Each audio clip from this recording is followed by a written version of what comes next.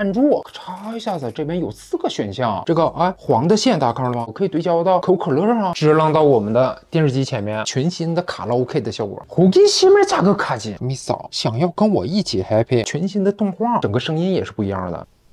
它也会有一个全新的动画，咣的一下放大了之后，这边有一个裁切哦，给它取消了，射线来了，一抬起来，直接就能看到郭富城。它俩一接触。我跟大家今天跟大家分享一下我整理出来的升级完 iOS 十七之后一定要使用的最核心的最好用的功能。我不说，让我马上来开始。功能首先第一个，我们来看一下我们的控制中心啊。我们下拉之后，当我们连上我们的耳机，连上这个 AirPods 或者是 HomePod mini 或者是 Apple TV 的时候，这边。它会有一个蓝色的标志，就非常的醒目，大老远就可以看出来我们已经连到了哪个设备，我们这个声音是从哪发出来的。所以我们在看在线小电影的时候就会更加担心一点。点击一下子之后，我们还可以进进行进一步的选择。另外，整个控制中心还有一个非常大的改变，就是我们的这个整体的设计。大家看这个手电筒，还有 Apple TV 的遥控器，原来的手电筒细长的，现在变成短粗的了；原来的遥控器细长的，现在变成短粗的了。变化大不大？而且我们的 Apple TV 打开之后。整个线条更加粗了，然后这个按钮是跑到了右边，跟我们正常的那个 Apple TV 的遥控器是一样的。大家看，正常的 Apple TV 的遥控器，小电视这个按钮是在右边。啊，现在新的设计也是放到了右边，原来是在左边，所以整个操作逻辑有一点混乱。但是在 iOS 十七进行了同步的更新，所以用起来会更加的舒服一点。另外一个，这里面有一个非常惊人的发现，大家看，咱们 Apple TV 的遥控器是 USB-C 接口的。另外，当我们使用听歌识曲的时候，这个 Shazam 啊，用它来听歌识曲的时候，This 啊也会有一个全新的动画，这边有小的波浪线告诉我们它正在听歌。而当它成功的识别出来一首歌曲的时候，它也会。有一个全新的动画。咣的一下，妈呀，黑死哈！Inception Trailer 那个预告片的主题曲，它马上就识别出来了。缩回去之后，我们可以看到 Shazam 它的 logo，然后按住之后可以看到相关的内容。这边还有一个 Apple Music，直接一点就可以在咱们的 Apple Music 上进行播放，非常的方便。另外，这个控制中心的 AirPods 连上去之后，如果我们的 AirPods 更新到了最新的固件啊，这个我会稍后再说。我们更新上去之后，在这里我们按这边，这边就有一个全新的自适应了，它就会根据我们身处的环境自。自动的调节降噪和这个通透模式，而且我们点击之后，整个声音也是不一样的。因为这边还有一个对话感知，当我们在这里，比如说设置为了降噪或者是自适应，当我开始哔哔的时候，它就会自动的切换成这个通透模式，而当我哔哔完之后，它又会恢复为原来的模式。这里面要注意啊，一定要我们自己哔哔，对方哔哔的时候是不行的。对方在外边哔哔半天，他是不会改变的。只有我们自己亲口开始哔哔的时候，他才会进行切换。控制中心最重要的一个改变就是，我们现在终于可以找到我们的 Apple Watch 了。点击这个之后，我们的 Apple Watch 就开始响了，就开始哔哩哔哩的响。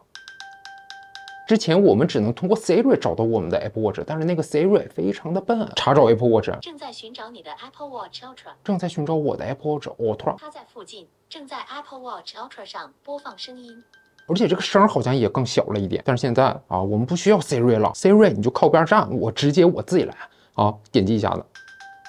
这声多大啊？然后在我们的控制中心，我们可以再来看一下我们的相机吧。这边大家都知道，我们可以看到这个十字键，看这个相机是不是水平的。但是现在 Apple 给我们新增了一个那个水平仪，就是当我们垂着拿着我们的手机的时候，它就会有一个小的这个啊黄的线，大家看到了吗？Swiss c 当我水平拿好了之后，它就变成黄线了。而当我稍微手机歪了一点，它就是啊出现了三根断线，白色的。而当我们手机拿稳了之后，这个黄线啊。它会自己啪嚓一下消失了，不会让它遮挡我们的画面，让我们更好的拍摄风景。苹果真的是非常的贴心。另外，当我们拍摄的时候，我们现在可以选择整个照片的分辨率了。这边大家看 RAW Max 啊，在这里我们可以快速的开启或者是关闭这个 RAW Max，或者是我们按住咔，嚓一下子，这边有四个选项：RAW Max、HEIF Max、RAW 十二。HEIF Max 就是四千八百万像素的 JPG 的这个图片格式啊，RAW 十二是一千两百万像素的 RAW 格。是 Apple Pro 啊，然后这边 Pro Max 就是我现在这个选择，就是四千八百万像素的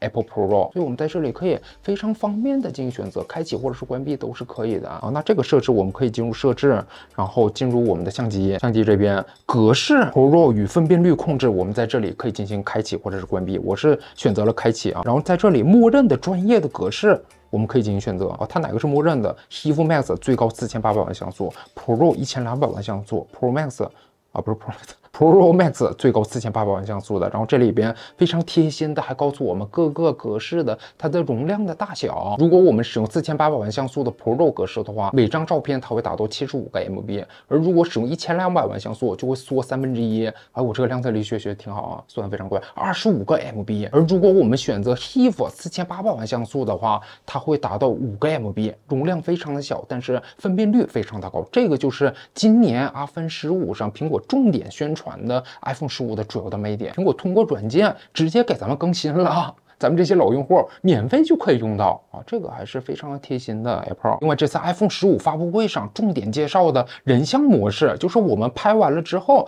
再进行对焦，再进行景深的控制。这个功能原来在我们老版本的 iPhone 上也可以使用。就比如说这种人像照片，我们点击编辑之后，大家看，我们可以方便的进行对焦了。现在对焦到了熊孩子，我可以对焦到可口可乐啊，咔嚓这边就虚了吗？或者对焦到这个杯子啊，都是可以的。放大了对焦，哎，我对焦。到这儿都可以，然后我们还可以进行景深的控制。这边有这个啊，光圈的大小，现在是默认是 f 四点五，我们来一个大光圈。OK，this 这边啊，这个模糊的效果非常的明显。大家看这边，还有这个耳朵这种虚化的效果啊，可以非常好的进行控制。苹果在发布会上大力宣传的这个功能，原来是一个软件上的功能，而且还不是 iPhone 十五独有的。咱们这些老用户依然可以方便的享受到这一个发布会上。哦，重点推荐的功能，Apple 真的是非常的贴心，我这感动的都湿了。另外说到照片了，咱们就呃进一步来说一下这个照片。这个照片现在啊，Apple 啊真的是也是非常的贴心。比如说我们随便选择一个啊，选择咱们的这个安娜。当我发现我想放大看，哎，放大了之后。哎，这个用作壁纸，这不是非常的完美吗？这个大小，哎，这时候我就可以非常方便的，哎，哪儿去了？稍微等一会儿啊，大哥，这边有一个裁切，点击一下之后，直接就按我们刚才缩放的那个大小，直接就进行裁切，非常的方便啊。另外，照片的另外一个功能，比如说我把这个照片给它删除了，然后我们进最近删除。现在，当我们想清空这个最近删除的这个文件夹的时候，我们点击选择之后，原来是分成了左右，现在缩到了一个三个点，我们可以选择全部恢复，或者是全部。删除，我们点击全部恢复。那下一个就是我们的 AirDrop 了，我们的 Name Drop，两台陌生的阿芬，他俩在大街上见面之后，我们现在不需要再说乱七八糟，直接俩人就掏出来手机，互相这么一接触，互相这么一顶，咣的一下，啊，大家看这个动画非常带劲，这个就是 Apple 引入的引力波的这种动画特效，非常的漂亮啊，咣的一下，而且它有声音的，它俩一接触。哇，这个细节啊，这样的话我们就可以非常方便的切换我们的名片呐，这样的。所以我们现在想要使用这个 AirDrop 进行照片的分享的时候，就更加的方便了一点。我们直接点击分享，大家看这边又有个非常贴心的提示，尝试将此 iPhone 的顶部靠近另一台 iPhone 啊，我们直接这么一顶。咣的一下，直接就隔空投送了，非常快速。那下面我们再来说一下这个锁屏界面啊。现在我们的实况照片终于又可以设置成为了我们的壁纸，这个还是非常不错的啊。比如说这种，当我们一打开，直接就播放这个动画了，直接就播放这个照片，非常不错。当然我们也可以设置其他，比如说这种，我们直接分享用作墙纸，左下角大看，它会提示我们是否将它进行播放。点击播放之后动起来了，这就 OK 了。锁屏一亮，动起来。平常手机放到这里面。然后一抬起来。直接就能看到郭富城了。另外，当我们把这种人物照片设置为了背景的时候，我们按住一下子自定义，然后这里边有样式切换。这种人物照片，我们可以非常方便的设置背景，渐变的背景啊，这种无缝的背景。而且这边还有一个颜色的设置，我们点击之后，我们可以非常方便的设置颜色，单色无缝背景，多漂亮！黑白的两种颜色都可以。原来的照片是黑色背景，我们点击这个之后，智能的直接就点亮了啊，整个场景都被点亮了，直接变成了白色的背景。它锁屏界面最大的一个更新就是它推出了制冷模式 （Standby 模式）。那我们把这个手机给它制冷起来的情况下，无论是 MagSafe 充电还是使用 Lightning，只要这么一连接，在这个锁屏状态下，咔嚓一下子，咣的一下，它就进入了这个制冷模式了 （Standby 模式）。哎，在这里我们可以看到，它现在充着电了。这个小标记，这是两个小组件，我们可以哎随便的来进行调整啊。这个时钟、天气还有这个音乐，我们可以直接在这里播放。然后我们还可以左右滑换这个模板，这照片。还有这种时钟模式，在这里我们可以看到闹钟啊，哦，我们还可以进行调整。现在时间八点零七。另外，在这个智能模式下，我们同样可以使用 Siri，比如说 Siri，嘿 Siri，给熊孩子打电话啊，就是这样的一个界面了。当我们大晚上要睡觉了，要上床了，这时候我们把灯关闭之后，它会进入夜间模式，就是我们那个 Apple Watch 那个模式啊，红色的非常 beautiful 的界面。哎，给这次就这样的一个效果了，全都是红不隆咚的，非常的明显。当我们来电话的时候，我们也可以听到全新的铃声了。我们进入设置来看一下啊，声音与触感，这里边电话铃声，大家看原来是这样的，什么倒影、波浪、灯塔、顶峰、辐射、海边、欢乐时光这种，但是现在全部变了，变成了啥？变成了这个庇护、出发、顶棚、故事时间，还有四大天王黎明。啊，没有郭富城比较遗憾啊，但是还好，我们看一下到下边有这个小啾啾啾啾，我们听一下这个庇护啊，噔噔噔，我们再来听一下出发，哇，有一种未知的激动，哒哒哒哒哒哒哒哒哒，顶棚，而且当我们设置闹铃的时候，原来让我们心脏骤停的那个声音也是被取消了，比如说二十分钟闹钟之前我们设置的默认的铃声就是这个雷达的声音，哦。但是现在给它取消了，射线来了，哎呦，比之前温柔了很多。有一点像刚才那个 AirDrop 啊，Name Drop 那个声。那我们设置睡眠定时的时候，这个闹钟它是没有任何的变化的，都是原来的这个什么早起者呀、虫巢啊，这个没有被取消掉，非常不错。不光是我们的声音发生了变化，在声音与触感，触感这边，这个触感我们现在可以进行选择了，始终震动，或者是在静音模式下才让它震动，或者是静音模式下不让它震动，或者是永远不震动，我们都可以进行选择啊。另外，在这个主界面，我们可以看到像这种小的小组件啊，哎，我们可以直接进行。交互了，直接进行播放，一点它播了，哎，我们直接在小组件就可以进行控制。另外一个，当我们连上 AirPods 的时候，这个背景是白色的，而当我们把它设置为黑色深色模式的时候，再让它靠近，一打开。这个界面也跟着一起变成了黑色，非常不错啊。而这个小组件里面现在推出了一个全新的造型啊，是中三经典的 Apple Watch 那个造型。而当我们播放音乐或者是看在线小电影的时候，我们一靠近我们的 HomePod mini 或者是 HomePod 一代、二代，或者是 Apple TV 的时候，它这上面就会弹出一个提示，来告诉我们你是不是想连接啊？想连接的话点我一下啊，这都可以。而当我们打电话的时候，首先这个界面发生了非常大的变化，因为有了联系人海报，所以要突出我们的联系人海报，所以整整个这种。键盘移到了下边，这几个直接咔嚓往下，这样改变之后，我们单手操作起来会更加的方便一点。而这个联系人海报，我们点击这个编辑之后，然后在这边点击编辑，哎，这样之后我们就可以自定义了。联系人的照片随意来进行选择，选择其他的照片随意来选一个都可以，或者是表情符号啊这种东西样式都可以进行选择。联系人照片是这个上边啊，然后这个海报我们点击一下子之后，在这里我们同样可以方便的选择我们的背景，都可以非常方便进行选择。另外，当我们进行 FaceTime 通话的时候，我们可以下拉控制中心，在这里点击这个左上角视频效果，这里面有一个反应，把这个反应给它打开了之后，当我们跟对方通话的时候，比如说现在，哎，我比如 double，你非常开心，它就有全新的动画，单手双手都可以，yes，不好，它都可以，yeah，哔哩哔哩的，I love you，这个可不可以？这行不行？这个行吧？国际通用的手势啊，宇宙通用的手势，I love you，I love you。而且现在 iPhone 可以搭配 Apple TV 进行 FaceTime，点击上去之后可以选择用户，这时候手机上会弹出一个提示，点接受，OK，这时候我们就可以把我们的相机支浪到我们的电视机前面，这边会显示 iPhone 已经就绪，而且还可以同播共享，把我现在看的这个 Apple TV 啊，或者健身的这些项目 APP。都可以跟它共享。缩下来之后，这边还会有一个小的屏幕，我们可以布局。哎，那这么 big 吧，big 吧，分屏浏览呢？哎，这都是可以的。那通完电话，我们再用一会儿这个信息爱马萨基啊，在这里整个界面也是发生了翻天覆地的变化。点击这个加号之后，原来乱七八糟的这个结构，现在统一成了这边。大家看，什么相机啊、照片、音频呢，都可以非常快速进行选择。然后这些我们按住之后是可以拖动的。那拖动的时候，手机还会有一些震动。另外这边有贴纸。啊之前我们添加的这种贴纸都可以非常方便的进行，比如贴上去啊，就我对于这个内容 test 内容想要贴上去，怎么贴不上去？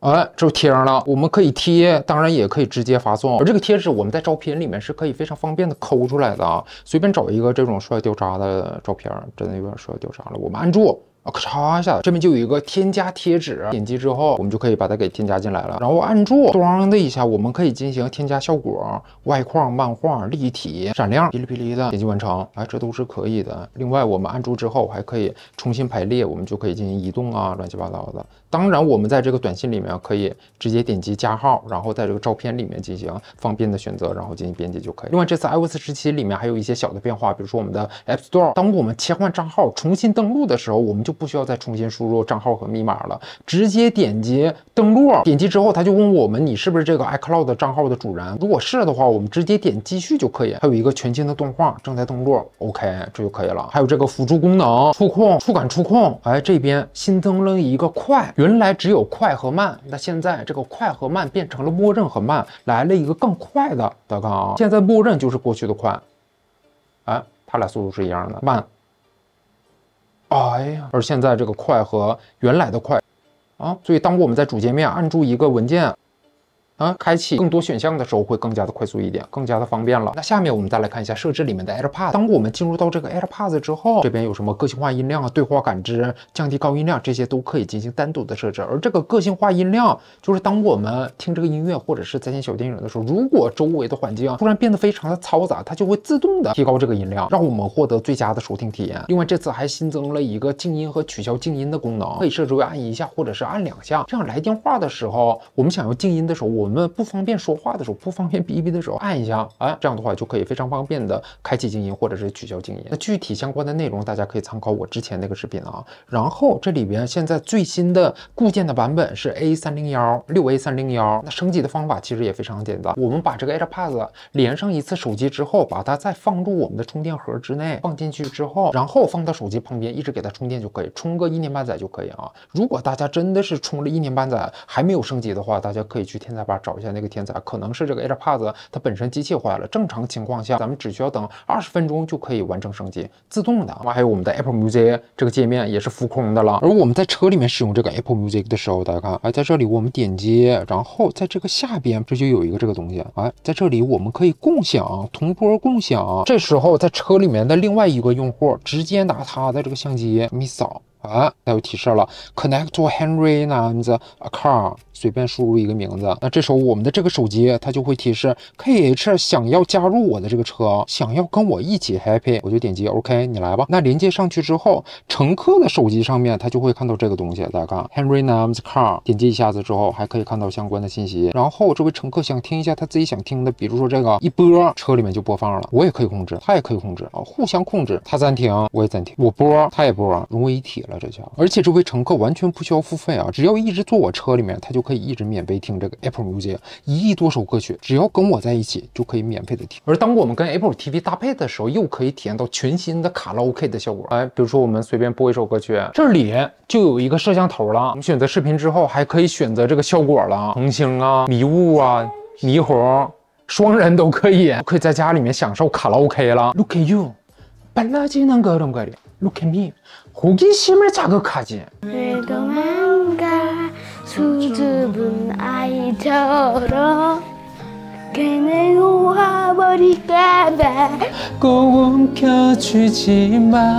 那最后一个就是我们的沙发雷了。这个沙发雷这个更新，我个人感觉是非常的好用。那当我们使用这个无痕浏览进行浏览的时候，大家看，我这样浏览一个网页，或者是看一个在线小电影，我切出去了。当我再重新打开的时候，它必须要进行 Face ID 的验证，就是除了我之外，谁都不知道我在看哪些在线小电影，可以非常好的保护我的个人隐私。而且我们在这个设置里面可以进行设置啊，设置 萨发雷隐私与安全性这边需要使用 Face ID 面容 ID 解锁无痕浏览，我们可以在这里非常方便的开启或者是关闭。OK，那这些呢就是 iOS 十七的一些主要的变化了，希望可以对大家有一定的参考价值。非常感谢，拜拜拜拜。